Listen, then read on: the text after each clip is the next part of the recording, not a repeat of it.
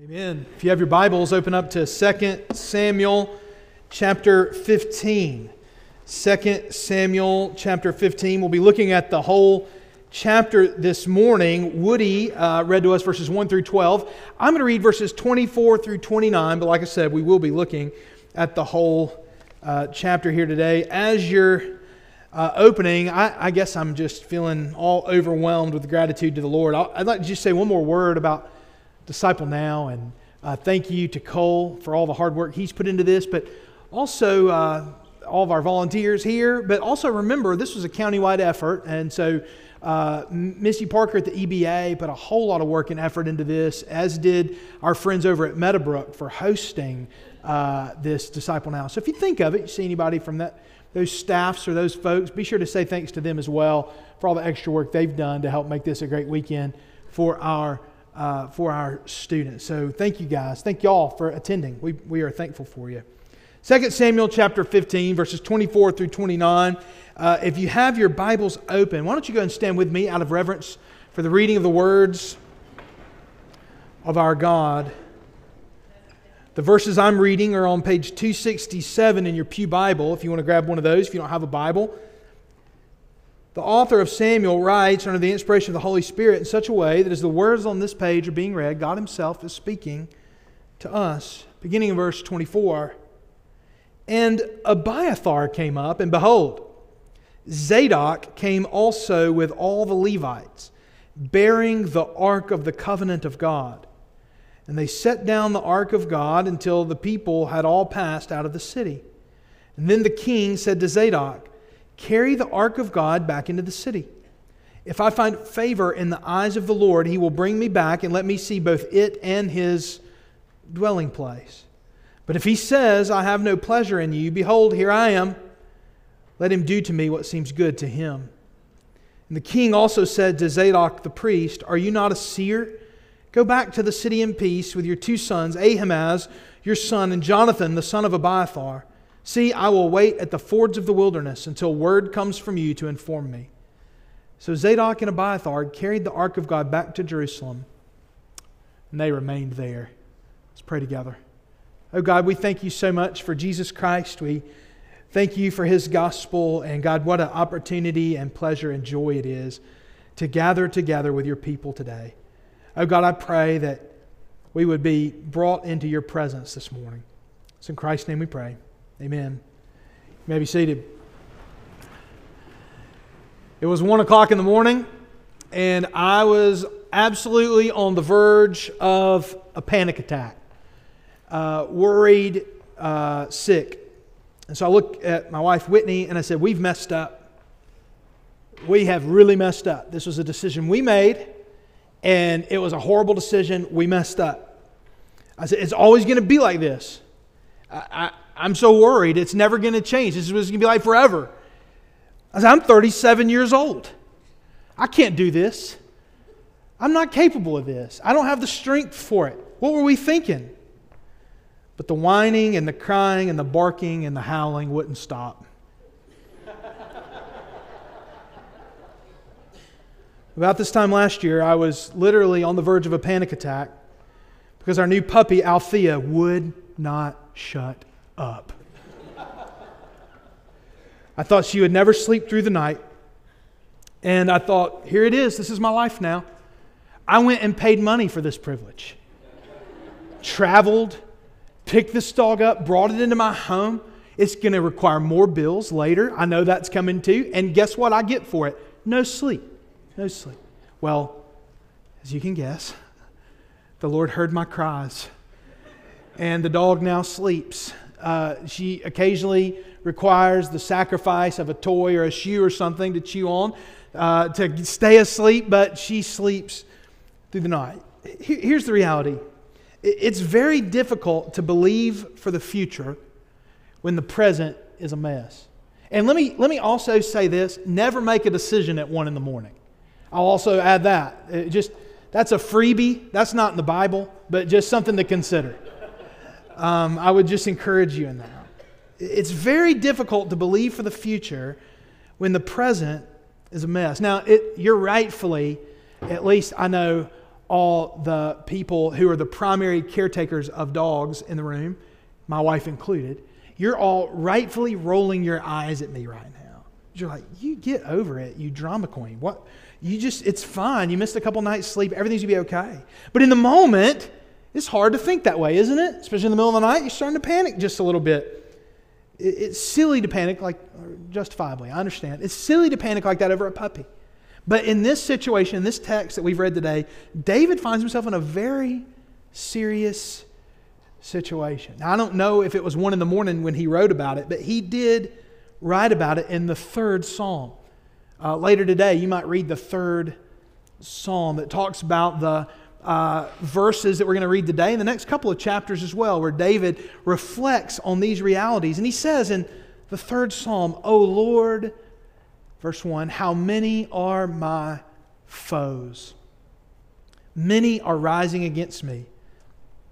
Many are saying of my soul, There is no salvation for him in God.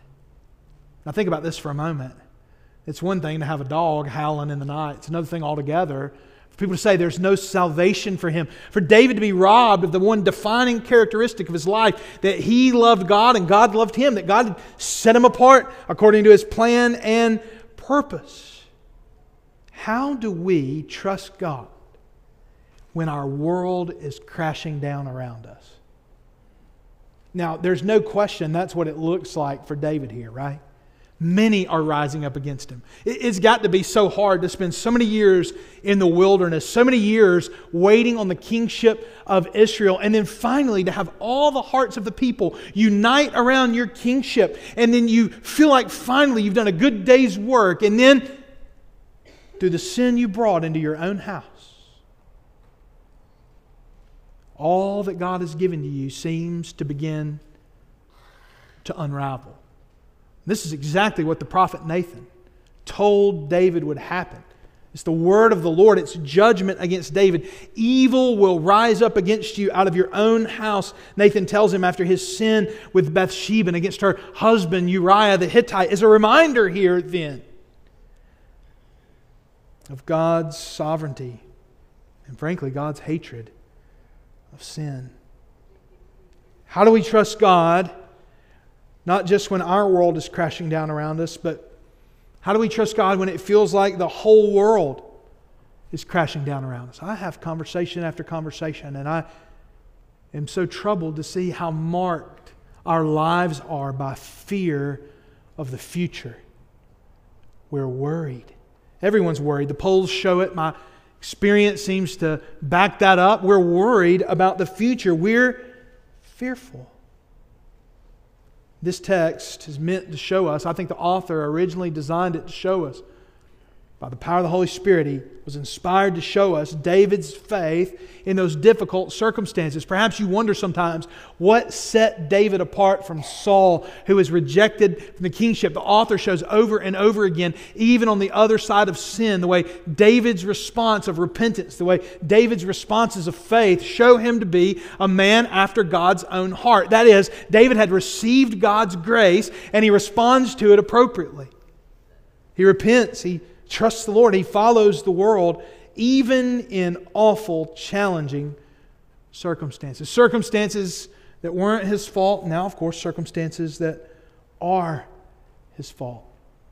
I'll tell you, you may not need it today, but the day will come when you need faith in challenging circumstances. And this morning, I want to show you four ways to cultivate faith in challenging circumstances. How do we trust God in the midst of trials and tribulations and other times that test our faith? I want to show you four ways, four points I think will help you grow in faith and especially faith when you need it the most, when trials come. Here's the first point this morning follow Christ, not flash. Follow Christ, not flash. Now, you've already decided you don't want anything flashy. You're listening to a guy in a bow tie preach this morning. So you already have decided about that. That doesn't necessarily mean you're following Christ, right? Follow Christ, not flash. I'm sure many of you remember Absalom. Absalom, David's son. He's a dashing man. He uh, is riding a chariot around Israel now, a chariot with horses. This seems to be a pretty new technology in Israel. You might remember earlier in the text, there were some battles where people had chariots, and uh, the, there was a lot of fear in Israel over the presence of chariots. And so I guess uh, Absalom has acquired for himself one of these chariots and is now a man about town. He's got the chariot with the rims on it. I bet he's got the 10 uh, inch speakers in the back. He's riding around Israel with his long, beautiful locks flowing. And on top of all that, he has an entourage around him 50 people to go out before him. He's making a scene, he's making a show. Look at Absalom. He recently returned from exile over the murder of a, one of his half brothers. Um, we won't get into all of it, but it's some real housewives kind of stuff going on in the royal court. Here, here's the reality despite their seeming reconciliation at the end of chapter 14, Absalom is still not fully reconciled to the king. When he came home from exile, he was still getting the cold shoulder from David. And despite that last verse where David gives him a kiss, seeming to indicate the reconciliation. This chapter shows us that Absalom still doesn't feel fully accepted in the royal court, and so he chooses to take matters into his own hands. He's got his chariot, he's got his horses, he's got his entourage of 50 people, and that's how he gets around town, showing off how glorious, how flashy Absalom is. On top of that, not only is he riding around town trying to look cool, trying to steal the hearts of the people. On top of all that, he decides to start hanging around the gate. And he does this so he can intercept anyone who comes to receive the king's judgment. We've seen a picture of this happen in the previous chapter where a wise woman from Tekoa is sent to David to adjudicate a situation between her two sons. Now, it turns out to be a ruse, but it shows us that David is regularly receiving people from the kingdom in order to administer his wisdom to them. That practice continues later in the reign of Solomon, and Solomon gains such a reputation for his wisdom that people start to come from outside Israel to bask in the wisdom of Solomon, to re- receive the wisdom of Solomon. All that being said, we know that David is receiving people along in this way. So Absalom shrewdly stays outside the gate and intercepts anyone who comes along. And they come and he says, Tell me what's going on. What, what brings you here? They say, Well, so and so, you know, borrowed my donkey and it died, and now he won't pay me back for it, or whatever else issues may come, and I'm coming to the king to deal with it. And he says, Man, that's terrible. Wouldn't it be wonderful if the king had someone, I don't know, maybe a guy who had five pounds of hair hanging off his head? Wouldn't it be wonderful if he had someone to hear you? I mean, you sure are waiting a long time here. You want to take a spin in the chariot and uh, go ride around town for a second? We could talk about your issues. It'd be wonderful if the king had somebody to hear you, wouldn't it? Wouldn't it be nice if he was doing a little better job up there? Yeah, I think so too. He wouldn't stop there, he, he, he would keep going. Notice in verses uh, 14, I mean, verses 4 and 5. Then Absalom would say, Oh, that I were judge in the land. Big surprise there, right? Oh, that I were judge in the land, that every man with a dispute or cause might come to me, and I would give him justice. And whenever a man came near to pay homage to him, he would put out his hand and take hold of him and kiss him. Thus Absalom did to all of Israel who came to the king for judgment. So Absalom stole the hearts of the men of Israel. David had kissed Absalom to welcome, welcome him back to the kingdom, and now Absalom is kissing all of Israel to woo them into his kingdom. He stole the hearts of the men of Israel. And all of this is to an end. Oh, that I were a judge. Oh, that I were king It's not just something Absalom says, it's a plan after four years of usurping the king. Now, listen, there's a little textual variant there. So, if you have a translation that says 40 years, just know there are two traditions out there of long standing translations, and one says four years. These are old Hebrew manuscripts, and one says 40. And so, translators have to make a choice there, and it feels like most likely that this happened for four years. It makes most sense in the context. Four years of this go by. Four years of this go by, of him usurping the king. And then finally, Absalom springs his plan into action. And he has himself declared king at Hebron under the guise of keeping a vow to the Lord. That is, he had told the Lord, if I ever come back to Jerusalem, I'll go worship you. And he tells his dad that's what he's doing. And his dad lets him go and he brings 200 unwitting conspirators with him. They didn't know what they were doing, but he brought them with him to further disguise what he's doing. This is well thought out, well planned out. Planned out. And you can see what Absalom is doing. He goes from uh, a classic demagogue, a person who simply appeals to whatever everyone says is best. He appeals not to what is best, to what but to the felt needs of the people. You know, anyone, I think we need to remember this. This is just a, maybe a piece of practical advice we can pick up from the Bible. It's one of God's great graces.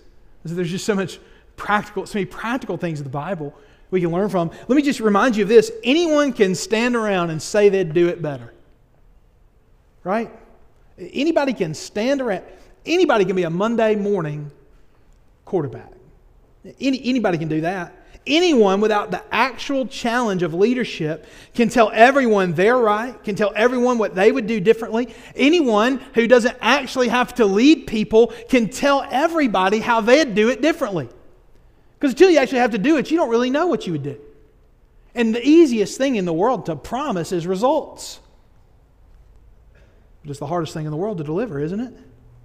And so, so long as the only thing you have on the docket for the day is riding around, brush your hair, show everybody the chariot. When your job is chariot, all you really have to do is stand around and tell everybody how, if your job was king, you could do it better. He's a classic demagogue. And then, in so doing, he makes himself out to be better than the king, and everyone believes it.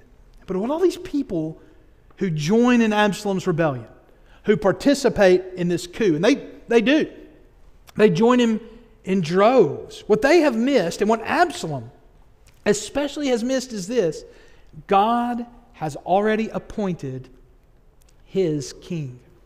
God has said nothing about taking David from the throne. God has not appointed Absalom as the king.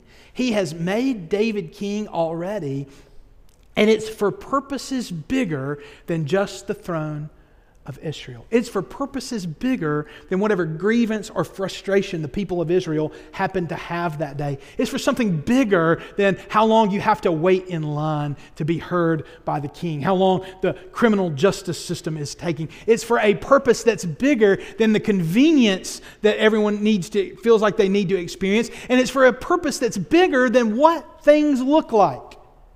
Doesn't it seem like Israel should have already learned their lesson about keys that look great?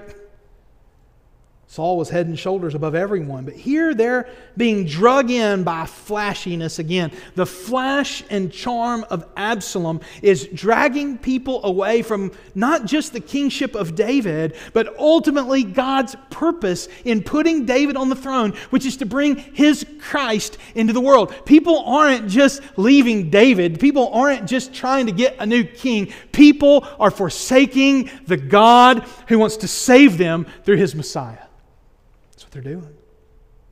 And friends, we must remember that we have to follow Christ and not flesh. We follow Christ, not flesh. We can always find something or someone that seems better than Jesus. We can always find something or someone, whether they be religious, whether they be secular, we can always find something or someone that seems better than what God has given to us in His gospel. But even when it seems like things are going better somewhere else, even when it seems like there's a flashier opportunity somewhere else, we follow Christ.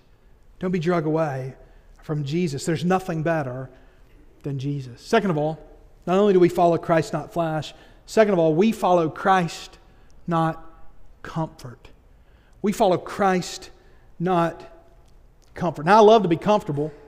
Um, I don't, for example, want to be interrupted at night when I'm trying to sleep. There's a, I've already told you that. You already know what kind of comfort I like. But here we see David and his servants, when they hear of the coup, when they hear what sort of army and force Absalom has amassed, they realize they have to leave Jerusalem. And I want you guys to get a sense of how sad this is, how horrifying this is that God's appointed king would leave God's appointed capital city. And yet, he does. Look at verses 14 and 15. Arise and let us flee, or else there will be no escape for us from Absalom. Go quickly, lest he overtake us quickly and bring down ruin on us and strike the city with the edge of the sword. And so all of David's servants come with him. They leave the comfort of Jerusalem and they go back to a wilderness exile where David has been before. It seems like all the promises of God are being stripped from him, doesn't it? But as they leave, all the servants are passing before David. This sort of royal retinue is going before him. And in so doing, David speaks to Ittai the Gittite. He's not an Israelite, he's new to town. And David tells him in verses 19 through 21 You go back to Jerusalem. You're new here, you're not an Israelite. Uh, things will go better for you if you stay in the comfort of Jerusalem. But notice what Ittai says back. Verse 21. He answered the king, As the Lord lives, and as my Lord the king lives, wherever my Lord the king shall be, whether for death or for life, there also will your servant be. You see what David's servants, what even Ittai the Gittite, this Gentile is seeing that Absalom and the usurpers can't see? That it's worth following the king and thus following God's plan, even if it means the total loss of comfort even if it means danger, even if it means leaving the comfort of the city and going out into the wilderness. Whatever you see is right, the servants tell David. I will follow you, Ittai, the Gittite says, despite being given the opportunity to remain in Jerusalem. And I think there's something for all of us as Christians to remember here today. There are things that are worse than discomfort in this life. There are things that are worse than even being miserable. It is worth following Christ even when it means following Him outside of comfort. And there may be some of you right now who are challenged by faithfulness to Jesus. And you say, if I keep being faithful to Christ, it's going to make me miserable. Oh, my friends. Oh, my friends. You will never find joy in sin, though there may be joy on the other side of misery so long as your joy is in Christ. But I promise you, my friends, a temporary happiness without Jesus is an eternity of misery without Jesus. But a temporary discomfort with Jesus is infinite, eternal joy in and through and with Christ. Follow Christ, not comfort. Brothers and sisters over here, you young people, there may be days where it seems awful to follow Jesus, to do the right thing. I promise you from experience, both positive and negative, I can tell you there is nothing that would drag you away from Jesus that is dragging you toward, toward joy. There's nothing. There's nothing. Third of all, not only do we follow Christ and not flesh, not only do we follow Christ, not comfort. Third of all, we follow Christ, not self. Christ, not self. Abiathar and Zadok are priests, and they, along with the other Levite priests, bring the ark of the covenant of God to David as he leaves Jerusalem. And I want you to see what happens in verses 25 and 26. The king said to Zadok, Carry the ark of God back into the city. If I find favor in the eyes of the Lord, he will bring me back and let me see both it and his dwelling place. But if he says, I have no pleasure in you, behold, here I am. Let him do to me what seems good to him. Now, how easy would it have been to David to decide to just take the ark with him? I'm God's king, therefore God's presence is coming with me. Uh, how easy would it have been for David to say, you know what? If I take this ark with me, I bet God will protect me. It wouldn't be the first time an Israelite thought that, would it, would it be? It may have slipped out of your memory because it's been so long since we were in 1 Samuel, but that's precisely one of the things that happened early in 1 Samuel. They were afraid of a battle, and so they brought the ark of God out, and, uh, and God refuses to be treated like a rabbit's foot as a good luck charm, and God allowed them to get uh, annihilated in battle, and the ark of God was stolen. How easy would it have been for David here to see God as the God of David? God's primarily about David and about keeping David on the throne and not letting David get embarrassed or making sure David doesn't have egg on his face or teaching that fancy boy in his chariot a lesson, that God. It would have been so easy. If you don't have the king, you don't get God either. But no, what does David say? That if the Lord's displeased in me, if the Lord's displeased in me, let him do with me what he wants. But if he's not, we'll be back. God can take care of himself, and God can take care of me, whether the Ark of the Covenant is here or not. God doesn't have to follow David out of Jerusalem. God's, God's at work in David's kingship, and it's more about the kingdom than it is about the king. Because, course, God is the one who's truly king. But God doesn't serve David, David serves God.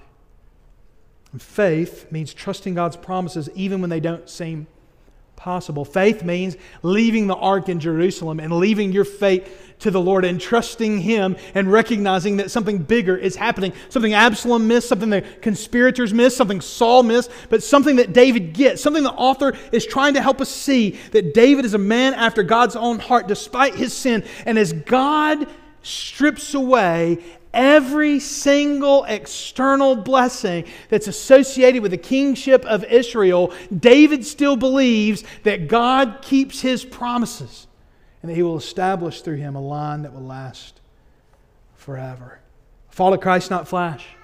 Follow Christ, not comfort. Follow Christ, not self. And finally, follow Christ, not fatalism. Follow Christ, not fatalism.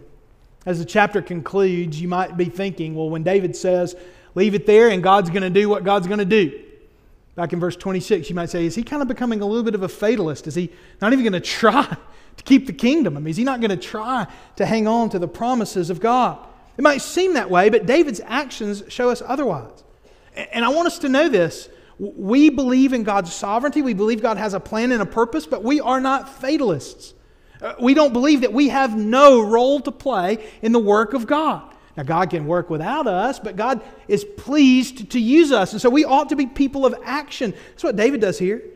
Uh, he recognizes that submitting to the will of God and trusting the will of God does not necessitate being inactive. David was not one of these let go and let God uh, theologians. As he's ascending the Mount of Olives in verses 30 through 37, David is weeping and crying. And to add insult to injury, he learns that one of his key advisors, one of his key counselors, Ahithophel, has joined the conspiracy. He's on the run again, he's outside the city, and he's taken another horrible blow recognizing that Absalom's conspiracy not only has brute force, but it also has intellectual power. It's got wisdom on its side.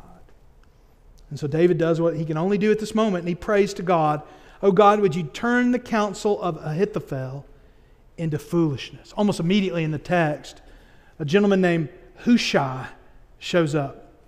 His clothes are torn, he's got ashes on him, he's clearly mourning what's happened. And David recognizes he's coming with him. And so, what does he do? He sends Hushai to Absalom to thwart the counsel of Ahithophel. That is, he's commissioning Hushai to be a double agent on his behalf. And, and so he uses the priests that he's told to wait back to give him information. He's going to use the priests as his information superhighway. Hushai will report to them and they'll report to David. Now, you can see here what's going on. Well, God's going to do what God's going to do, right? Of course. But at the same time, David's making a plan according to the plan and purpose of God that's been revealed to him to get back to Jerusalem, to go do what God's called him to do. And those two things are not exclusive. They're not mutually exclusive. We can walk and chew gum at the same time. We can trust God, trust that God's in control, trust that God saves sinners, trust that the Lord attends to the preaching of His word, and at the same time, we can get after it for the Lord Jesus Christ. We can follow Christ no matter what. And if you find yourself in challenging trials, I don't want you to sit back and ask yourself why in the world God's doing this and, and mope and complain. Instead, get busy in service for the Lord. Trust God. Cling to His promises. Trusting God doesn't mean that we can't take action, brothers and sisters. Trusting God, faith, means that we take action according to the purpose and plan and will of God that's been revealed in His Word. That's what David's doing. He's taking action. We follow Christ, not fatalism. I you this question today Will you trust God even if your world is falling apart? Will you have faith in God? Will you remember that He's on His throne? Would you trust the Lord even when your world is falling apart? I hope you can say what David said. Psalm 3 opens, as I've already read to you O Lord, how many are my foes? Many are rising against me. Many are saying of my soul, There is no salvation for him in God. Selah. And you read this passage and you say, Sounds about right. Sounds about right. I don't want to saddle up. If this is the promises of God, don't count me in. But the psalm doesn't stop there. David says this But you, O Lord, Psalm 3, are a shield about me, my glory, my glory, and the lifter of my head. I cried aloud to the Lord and he answered me from his holy hill. David is exiled from the holy hill of God. David is leaving Jerusalem. Everything seems to be in shambles, but God has not left. The king may no longer be on the throne. A usurper may be on his way to Jerusalem, but the king remains on the throne. It's Him that answers. It's Him that is David's shield. It's Him that is David's glory. It's Him that lifts David's spirits. It's Him to whom we can cry. It's Him who will answer His people always, even when things are bad, even when trials come, even when our world is falling apart. Brothers and sisters, put your faith in Christ. Follow Christ. He will hear. He will answer. He is your shield. He is your glory. No matter what, my friends, put your faith in Jesus. I want to offer an invitation this morning. If you've never done that for the first time, if you want to be saved, oh, my friend, it's possible. You could be saved from your sins. You could be saved from an eternity of punishment suffering the wrath of God for sin. You could be saved because Jesus took the punishment for you. I believe with all my heart, if you will turn from your sins in repentance and turn to God in faith through Jesus, you will be saved. If you need someone to talk to, oh, I'm here for you, but you can do business with the Lord right where you are. After this prayer, I want to invite you to do business with the Lord. Second of all, you may be a Christian. You may say, Pastor, I, I just need some time to do business with the Lord. Symbolically, if you want to come to put those things before Him at the altar, you can. If you need someone to chat with, that's what I'm here for. Or you can do business right where you are with the Lord Jesus Christ. He's everywhere, He's waiting for you. And finally, if you're looking for a church home, you want to talk to me today about what it means to be a member here at First Baptist Church. After this prayer, while the song is playing, I want to invite you to come.